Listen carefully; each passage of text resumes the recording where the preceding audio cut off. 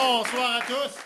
Alors, pour ou contre une école pour les Noirs? Hein? Ben là, euh, moi, je pensais que ça existait déjà.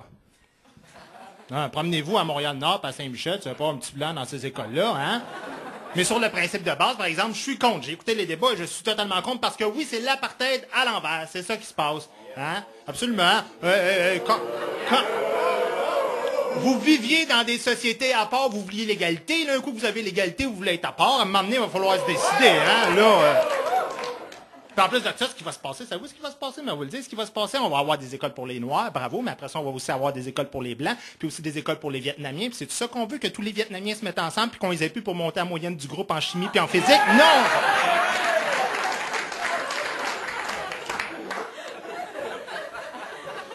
Bon.